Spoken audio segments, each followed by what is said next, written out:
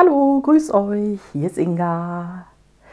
Ich möchte mich recht herzlich bei euch bedanken. Ihr habt das Video von diesem Rakelbild, ihr habt es so oft geliked und ihr habt es so oft angeguckt, dass ich darüber überaus glücklich bin und mich bei euch einfach mal bedanken wollte. Und es haben einige gefragt, wann machst du wieder was in Rakeltechnik? Ja, das heutige Video geht tatsächlich über ein Bild in Rakeltechnik und zwar über dieses hier. Das ähm, hat die Grundfarbe Ultramarin, es ist quadratisch und dann habe ich auch wieder mit dem Spachtel viele verschiedene Farbschichten aufgetragen. Ja, ich wünsche euch viel Vergnügen beim Gucken dieses Videos. Gebt mir gerne ein Like, abonniert meinen Kanal und ansonsten sehen wir uns gleich bei dem Video. Schön, dass du dabei bist. Ich habe mir eine Leinwand ausgesucht, die 50 mal 50 cm groß ist und die Rahmendicke ist 3,6 cm. Es ist eine sogenannte 3D-Leinwand. Ich habe ja vor, heute mit der Rakeltechnik zu arbeiten und da finde ich es immer ganz gut, wenn im Hintergrund leuchtende Farben vorhanden sind. Und deshalb habe ich mich heute für das Ultramarin entschieden. Das ist ein intensives Blau. Da es sich aber um eine transluzente Farbe handelt, trage ich zwei Schichten auf, damit sie auch wirklich deckend auf der Leinwand sitzt. Die Lebendigkeit der Rakelbilder wird auch durch eine Vielzahl von Kontrasten produziert und nachdem ich jetzt zunächst das Ultramarin aufgetragen habe, habe ich mich für das Reflexorange entschieden. Das ist also eine Neon-Variante von Orange und wie ihr seht, harmoniert das ganz wunderbar zusammen mit dem blauen Farbton. Am Anfang ist es so, dass ich ein bisschen mehr von der zweiten Farbschicht auftrage, um schon mal die ersten Strukturen der Rakeltechnik zu bekommen. Das sind diese leichten punktuellen Strukturen, die ihr jetzt erkennen könnt. Die orangefarbene Schicht wird zunächst mal mit dem Föhn getrocknet, weil ich gleich grün benutzen werde und ich möchte nicht dass die beiden Farben sich direkt zu einem Braun vermischen. Das mit dem Föhn hat schon mal wunderbar funktioniert, denn das Brillantgrün bleibt so schön grün wie es ist und auch das Orange bleibt nahezu unangetastet.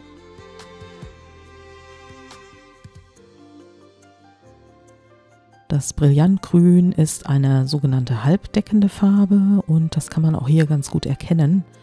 Am Anfang, wenn die Schicht noch relativ dick ist, ist es auch sehr deckend und zum Schluss hin, wenn dann sozusagen weniger Farbe vorhanden ist, dann scheinen die anderen Farben auch schön wieder durch.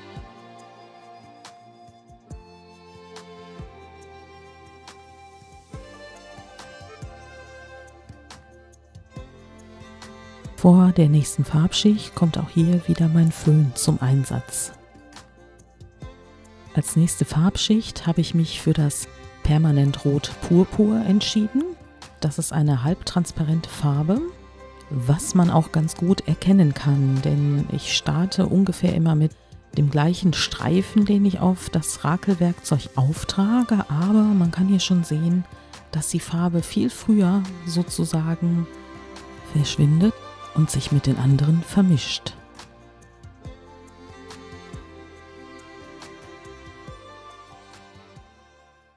Jetzt ist es Zeit, mit Titanweiß eine sehr helle Farbe ins Spiel zu bringen. Sie ist deckend und anders als bei den anderen Farben vorher versuche ich jetzt an verschiedenen Stellen diese aufzubringen und erreiche damit auch wieder ein schönes Zwischenspiel bei der Rakeltechnik. Es gibt äh, Momente, da könnte man direkt aufhören, mit dem Rakelwerkzeug weiterzumachen. Aber das ist eben gerade das Spannende. Hinterher sieht man, na, da hätte ich vielleicht doch stoppen können. Und man macht weiter und ist sich nie ganz sicher, welches Bild am Ende dort tatsächlich stehen wird. Es gibt Momente in diesem Video, da sieht es so aus, als würde das Video in Zeitlupe laufen. aber das ist die normale Geschwindigkeit, in der ich dieses Bild auch tatsächlich gerakelt habe. Und wenn das Rakelwerkzeug scheinbar auf der Stelle stehen bleibt, dann liegt es daran, dass sich die Farbschichten, nämlich die auf dem Rakelwerkzeug und die, die bereits auf der Leinwand sind, in dem Augenblick einfach nicht aneinander vorbeischieben lassen. Da brauche ich dann etwas Geduld und Fingerspitzengefühl, damit ich das Werkzeug wieder weiter bewegen kann. Die Farbschicht, die ich jetzt aufgetragen habe, besteht aus Reflexgelb. Und nachdem ich jetzt die Leinwand gedreht habe, nehme ich keine neue Farbe mehr auf das Rakelwerkzeug auf, sondern ich ziehe es einfach mit dem verbleibenden Rest so über die Leinwand und so entstehen die ganz typischen Streifen auf einem Rakelbild.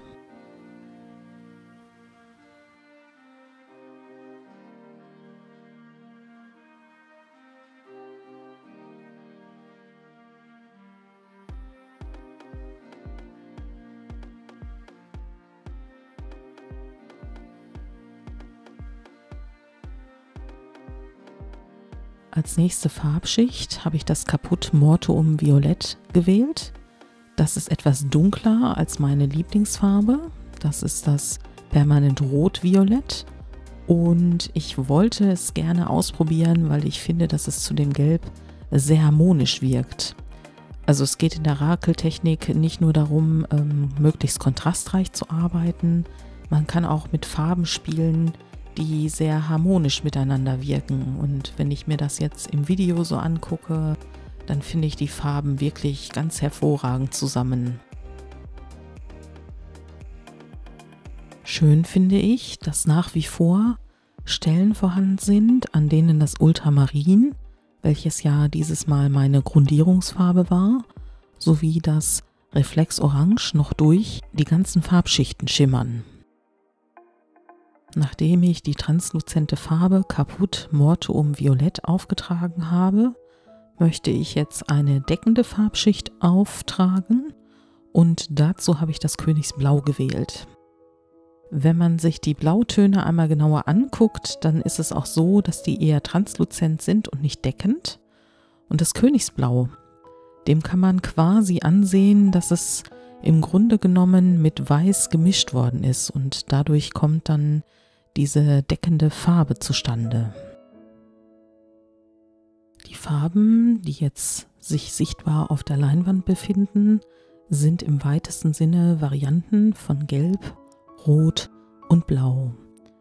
Ich finde, gerade jetzt, wo das Blau aufgetragen wird, entsteht ein wunderbar harmonisches Farbspiel und die typischen Flecken und Strukturen der Rakeltechnik treten ganz besonders hervor.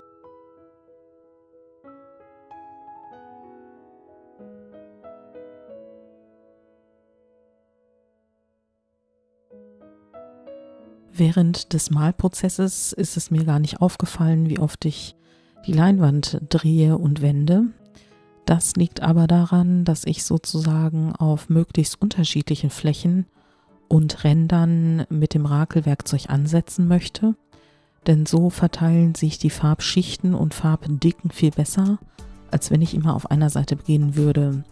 Dann würde nicht so ein lebendiges und schönes Bild entstehen, wie wir es jetzt gerade hier sehen, wo die drei Grundfarben selbst noch die Farbe Grün und Violett und Orange zum Leuchten bringen, obwohl weder Grün, Violett und Orange aufgetragen sind, sondern es sind ja die Primärfarben Gelb, Rot und Blau, welche sich dann letzten Endes zu diesen Farben vermischen.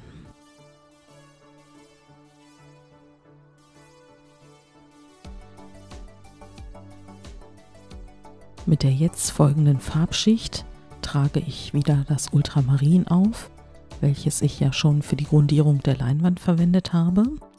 Aber ich werde das Ultramarin jetzt nur in Ansätzen auftragen, also immer nur stückchenweise und erzeuge damit eine gewisse Tiefe auf dem Bild.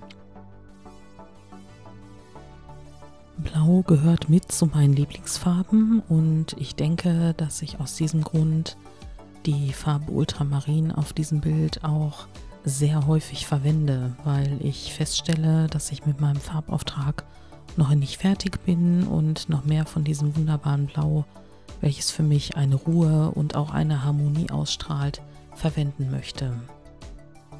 Im Gegensatz zu den anderen Farbschichten habe ich mein Rakelwerkzeug diesmal nicht so sehr mit der blauen Farbe gefüllt, sondern bin ganz vorsichtig über die Leinwand gegangen und habe dadurch die anderen Schichten noch durchscheinen lassen. Aber wenn man gleich sieht, wir gucken jetzt gerade von oben auf das Bild, hat sich das Gesicht des Bildes wieder komplett geändert. Vorhin hatten wir noch warme Töne und nun haben wir erstmal eine blaue Struktur. Aber das bleibt nicht lange so, denn wie ihr sehen könnt, trage ich gerade ein Rot auf. Und zwar ist das das Naftol Rot Mittel. Es ist mehr ein helles Rot und es ist halbdeckend. Und auch dieses trage ich als Kontrastfarbe zu den vorherigen zwei Blautönen auf. Und da ich die Schichten vorher nicht großartig geföhnt habe, könnt ihr sehen, wie auch hier wieder die typischen Streifen beim Rakeln entstehen. Es vermischt sich vor allen Dingen das Ultramarin mit dem Naphtolrot Mittel.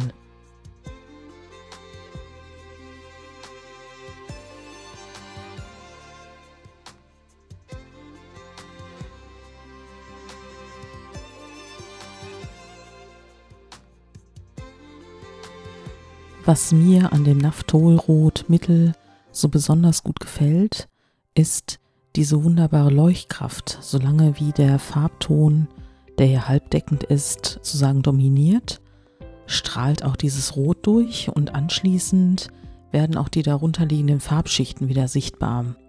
Sobald sich das Ultramarin mit dem Naphtolrot vermischt, wird das Ganze ein relativ dunkles Lila, Violett, was auch einen leichten Braunton mit sich bringt.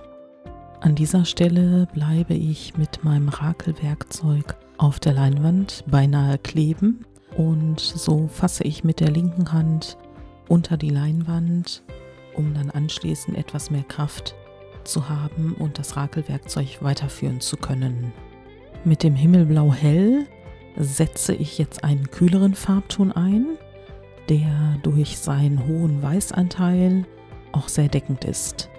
Dadurch dass sich jetzt durch die verschiedenen Farbschichten schon einige Strukturen gegeben haben, bleibt die Farbe an den Erhebungen teilweise hängen und teilweise kann ich damit wieder die Streifen ziehen. Das Perlrot bzw. alle Perlfarben von Amsterdam haben für mich eine besonders cremige Konsistenz und ich finde, dass fühlt man auch, wenn man mit dem Rakelwerkzeug diese Farben über die Leinwand zieht. Also das unterscheidet sich erheblich von den anderen Farben.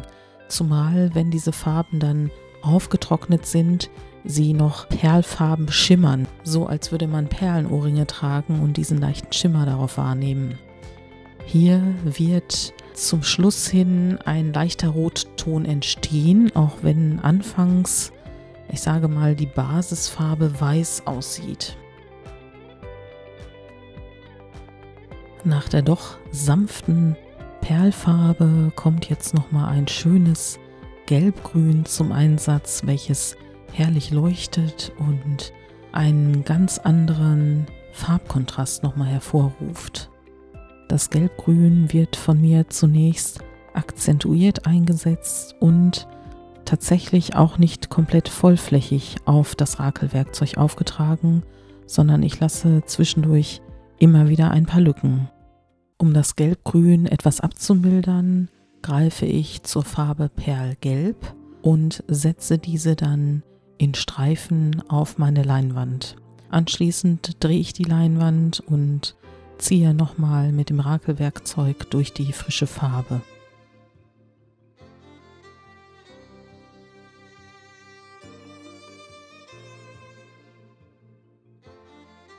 Durch das Azogelb Zitronen, was ich jetzt auftrage, erhält das Bild fast schon einen leicht herbstlichen Charakter. Das ist durch das Naphtolrot mit dem Ultramarin und dem Azogelb Zitronen entstanden oder für mich erweckt es zumindest den Eindruck. und das Ganze beeinflusst tatsächlich meine Wahl der nächsten beiden Farben, wie wir gleich sehen werden.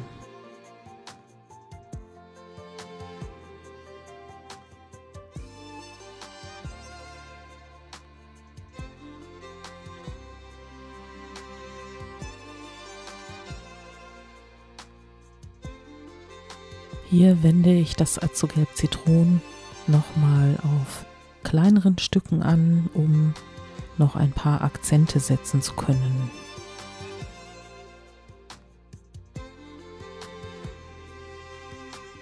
Jetzt bekommt das Ultramarin seinen dritten Auftritt.